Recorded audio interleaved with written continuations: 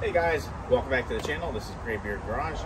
My name is Matt, and today we're going to work on our pallet chicken coop.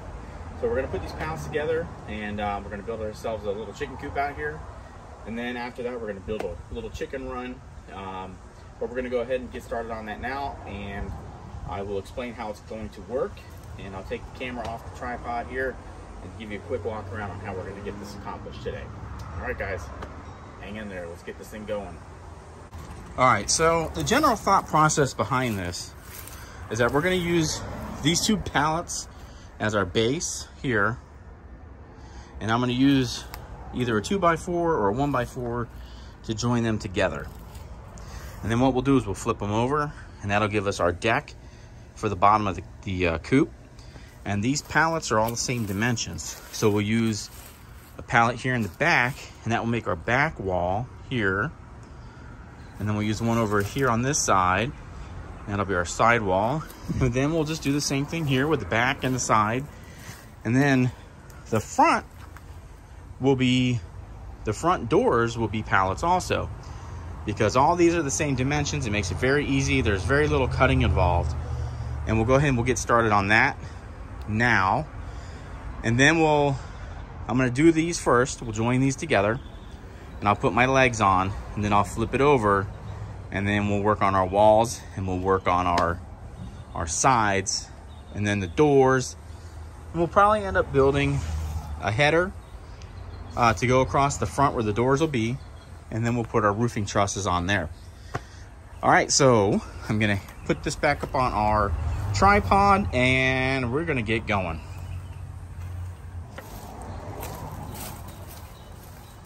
All right, so what I found is I found some one by four. So move these two by fours out of the way. We're gonna take these, we're gonna stick them in here, right here, and we're gonna join these two pallets together. And we're gonna do that everywhere. This and like this. And we're gonna go ahead and screw those together, and that'll give us a good base uh, for our chicken coop. So I'm gonna go ahead and get my drill, and then we're gonna drill all this together. All right, guys. So here's what we're using today for our screws. One and a quarter inch. They're gonna go right in here. We'll get these locked in, and uh, then we'll flip. We'll put our feet on, and then we'll flip these over, and then we'll continue on from there. So we'll go ahead and we'll get these get these put in.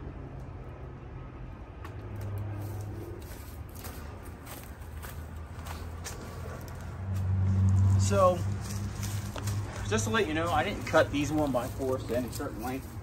It's all scrap wood, so I don't really care how much we use of it. So, like I said, we're just gonna go ahead and get these screwed in, and that will give us a secure base to build on from there. So we'll go ahead and get these screwed in.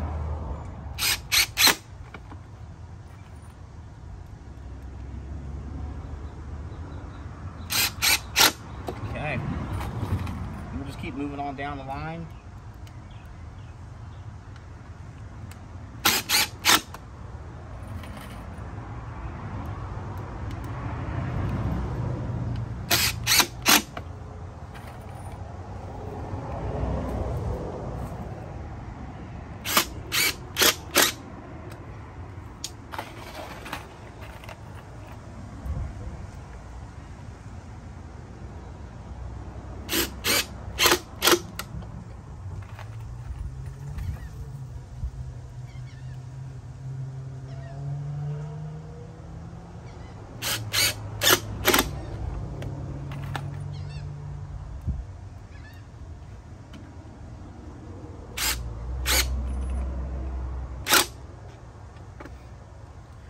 Right, that's one side. We'll move over here and get this side done. All right, well, I'm gonna go ahead and do the rest of these without recording the whole thing because it's kind of repetitive. So I'm gonna go ahead and stop this and then we'll, uh, we'll come back when we do the legs. All right, so now you can see here that we've got our braces in there both sides of the center and this side. So now I've got some uh, used 4x4s. I'm gonna get those and measure them up and cut everything to length. And then we'll attach uh, one and each corner here. So one here, one here. And then we'll do one here and one here. And we might do one in the center just for a little extra support. All right, so I'm gonna go grab those and then we'll get those cut down to length. So I've grabbed a couple of the 4x4s. It's just kind of an example of what I'm looking to do. And so I'm gonna screw these in from the top side. So I'm gonna have to flip this up on its side. And I'm probably gonna have uh, Mrs. Graybeard Garage come out here and give me a hand just getting these done. Now these, they're tall, but what my thought is, is that I may do chicken wire all the way around the bottom of this thing. And then that way it gives them a little run underneath it.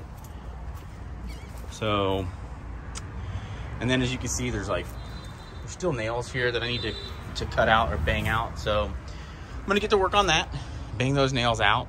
That's kind of pretty boring stuff, so I don't think you guys need to see that. I'll spare you the uh, spare you the boredom on that one. But what I want to do is take these, right, because this is all just rough sawn lumber. And I want to trim these down, get a nice flat surface so that when we uh, mount them to the boards, they're flush. And then when we flip it over, they'll all be flush on the bottom. And I think what I'm going to do is use a couple pavers to sit these on so they're not sitting in the dirt and they won't they won't rot nearly as fast. All right, so I'm going to go ahead and get to uh, knocking out some nails and um, We'll be back when we go ahead and get these things fastened in. Okay, so I've got these 4x4s cut down and I got them cleaned up so they should be flush now. And I put a 2 by I changed the way we're gonna do this. I put a two by four here on the ground or on the bottom of it. And then we're gonna screw in from the back side over here with a six inch screw and that should fasten these in nice and tight. And then we'll throw a diagonal support beam uh, from here down over to there. And that should give us plenty of support on the legs. So I'm gonna go ahead and get the first two legs attached and we'll run the, the camera for that and then we'll move on to the next ones. Okay, so you can see I just kind of started the screw a little bit and uh, now we're gonna go ahead and finish running it home.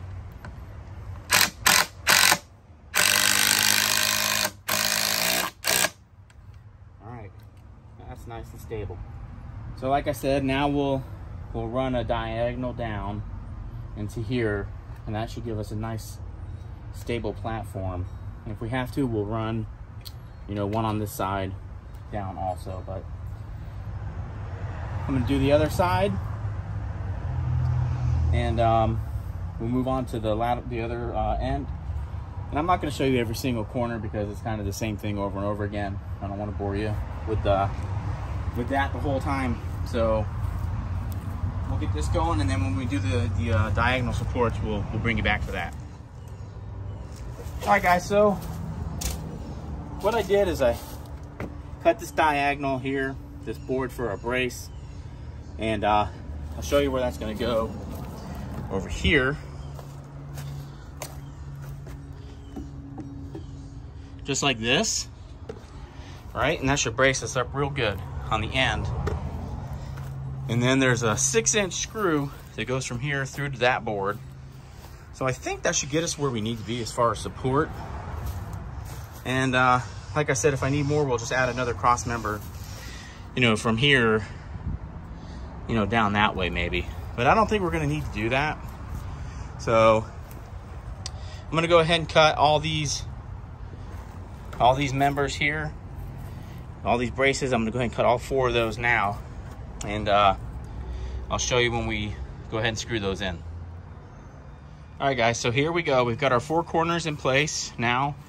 And um, we're gonna go ahead and start doing our diagonal bracing. So I kind of did a couple pilot holes. I don't know if you can see that or not. Uh, but anyway, I did do a couple pilot holes in those boards. And I'm gonna do member cross members on the inside as well I was thinking about that because when it comes time to flip it over, when it comes time to flip it over, I want to have supports here. Otherwise, I'm afraid it'll snap the legs off. So what we're gonna do now is we're gonna go ahead and get all these drilled in or screwed in and uh, we'll take you on board for that. All right, so like I said, I did do a couple of pilot holes in here and it's getting kind of late in the afternoon, so we're catching some shadows, but I'll try and get you guys set up to where you can see it maybe.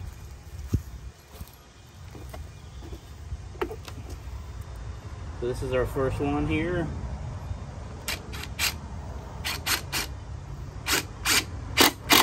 Okay, there's one in there.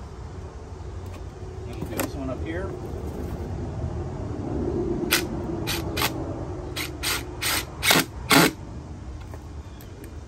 I'm gonna put one more in there.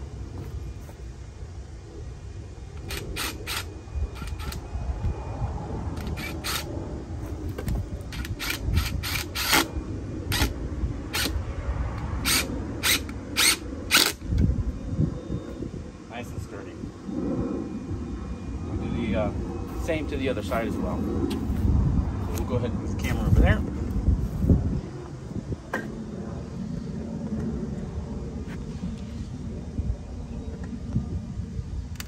see if we can get that set up. Go. The same thing here, we'll just repeat that.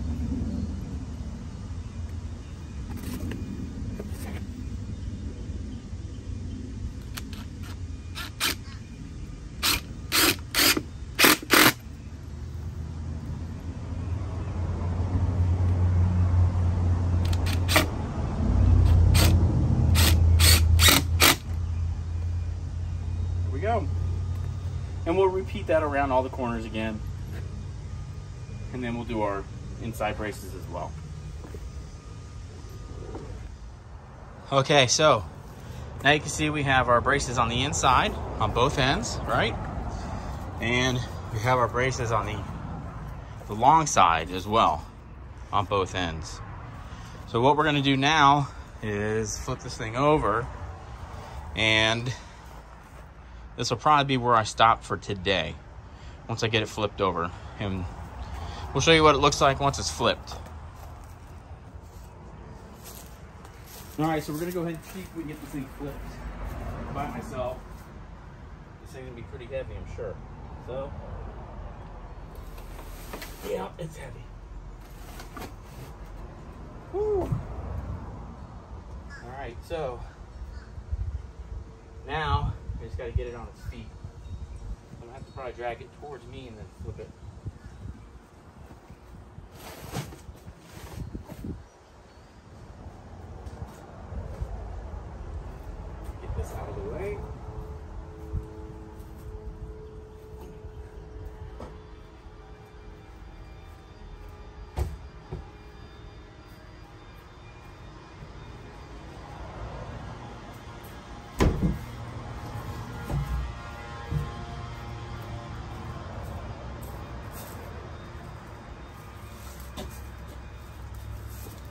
Son's spare tire.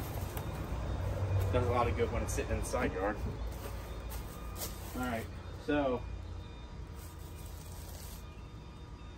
now I'm going to attempt to flip this thing.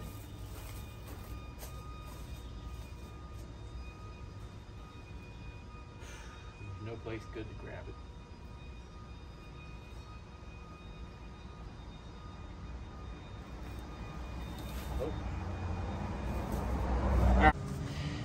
All right, guys. So now I've got the coop standing up, and uh, I needed some assistance, so I didn't really want to embarrass myself. so here it is, and it's tall. It's probably 40, 44, 45 inches tall to the top of the deck. So what the idea is now is we're going to use these other pallets to do the sides and the back. And then here on the front, we're going to use pallets for the doors and those will swing open all the way. And then instead of having a huge long uh, chicken run, you know, out on one end of it, I wanted it a little taller so they could actually just have their run underneath. So we'll end up cutting out some slats here and then we'll run their little ladder down and they can come in and out of the coop at their leisure and they can feed down below. You know, we can throw hay down there for them or whatever. So that's kind of our plan uh, with that coop.